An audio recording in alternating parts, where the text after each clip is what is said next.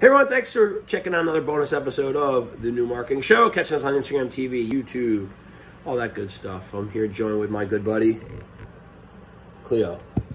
So, today I want to talk about processes.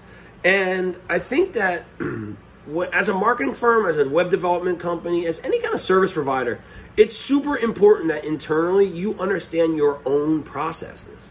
If you don't understand or have your own process and have a good handle on them, there's no way that you can expect a client to adhere to your process or to understand your process or to know what the hell they are accountable and responsible for. So, when you have a process, it should definitely be clearly defined within your team. Now, this may be a chain of command, like if you're getting, uh, like in one of our cases for Trinity Web Media, to use a real world example, to get getting content approved, it goes from you know, our writer to the account manager to the client, then back to us with approval. You know, as long as everybody understands that chain of command and how the process works, we're good.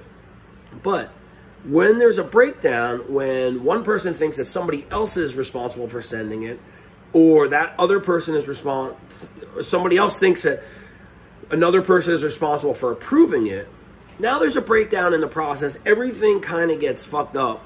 And what happens is you lose control of the end product.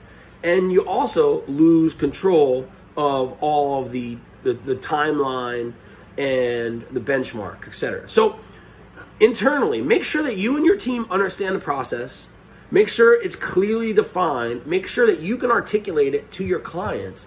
And then just see how much smoother projects run. So, hey, thanks for checking us out. Talk to you soon.